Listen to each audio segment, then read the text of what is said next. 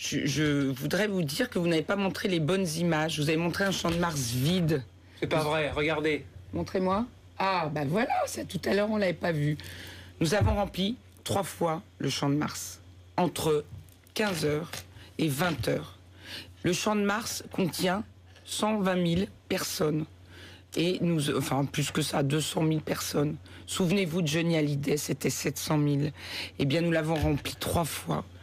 Aujourd'hui, je veux dire devant tout le monde que nous n'avons, que nous avons euh, à peu près mobilisé plus d'un million de personnes à Paris. Voilà, je dis le chiffre. Où est la caméra? Là, là.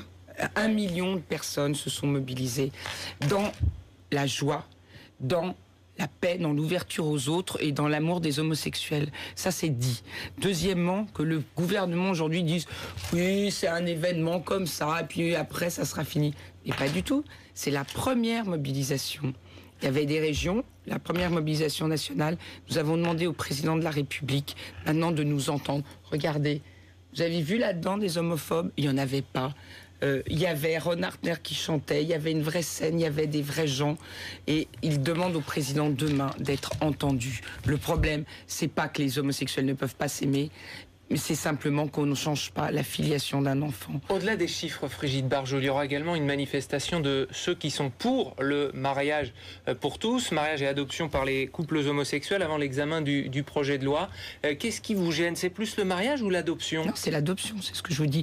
Et comme l'adoption, c'est la filiation, que le mariage, c'est le fait de, de fonder une famille, il faut juste changer le mot de mariage et il faut reconsidérer c'était dans, soumettre... c'était dans le, la campagne de présid présidentielle de François Hollande. Manifestement. Les Français ont voté pour majoritairement. Non. Je vais vous dire une chose. Les Français, ils ont rejeté Nicolas Sarkozy. Ils ont voté pour du social pour sortir de la crise.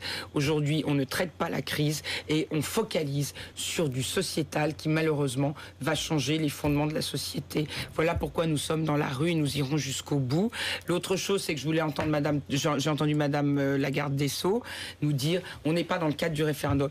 Mais peut-être le social, c'est aussi du sociétal, parce que quand on abîme les règles qui maintiennent la famille, eh bien, on arrive aussi à, précariser toute la société.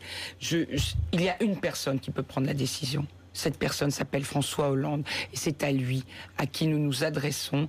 Entendez-nous, Monsieur le Président, nous voulons, nous avons été archi vous prévoyez, vous prévoyez une nouvelle mobilisation si Mais bien si sûr, si le président ne bouge pas, je vous assure que nous sommes archi mobilisés et que là, vous avez vu simplement la base émergente de l'iceberg. Merci. Je vous, vous, en prie. Brigitte Barjot, l'une des porte-paroles donc du collectif La Manif pour tous, d'avoir été notre invitée sur BFM TV.